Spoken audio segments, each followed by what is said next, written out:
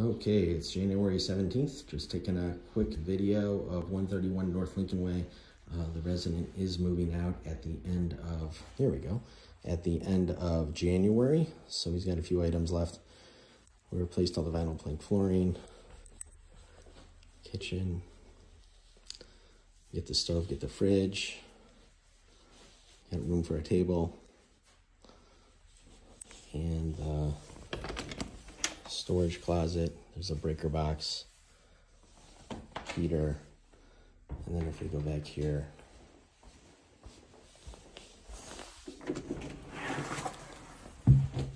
there is a balcony, wood deck that you can access